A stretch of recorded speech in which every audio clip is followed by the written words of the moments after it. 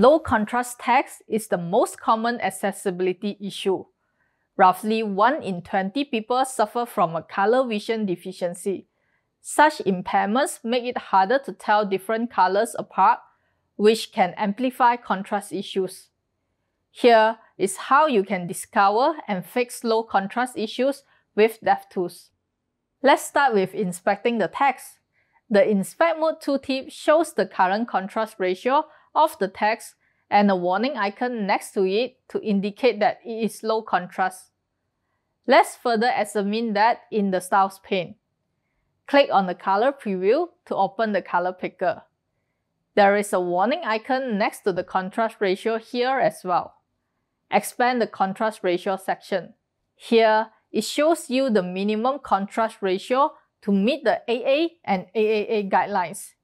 To learn more about the color contrast guidelines, click on the link. There are two ways to fix the issues with DevTools. You can fix it by clicking on the suggested color, or you can use the recommended contrast line to manually fix it. The first line indicates the AA guidelines. Select any color below this line to meet the minimum recommendation. The second line indicates the AAA guidelines. Select any color below this line to meet the enhanced recommendation. It is tedious to go through each element on the page to check the contrast ratio. The CSS Overview panel can help you detect all the low contrast text of your page. Watch my previous tip to learn more about the CSS Overview panel. If your page supports both light and dark themes, you can emulate the theme via the Rendering tab and generate the CSS overview for each theme to detect if there is any theme-specific low contrast issues. By the way, DevTools has an experimental feature to automatically detect low contrast issues on your page.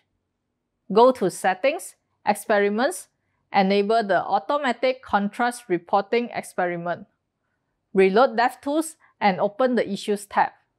The low contrast issues are now reported automatically. Expand the affected resources and click on it to highlight the elements on screen. Apart from that, DevTools can help you understand visual impairments by letting you simulate color vision deficiencies on your web app. Open the Rendering tab, scroll down to the Emulate Vision Deficiencies option. DevTools can emulate blurred vision and other color vision deficiencies. For example, protanopia is the inability to perceive any red lights. Select that and observe. The color contrast of the text is even worse now. It is almost unreadable.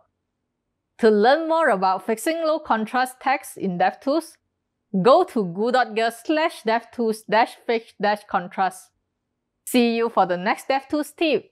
Bye!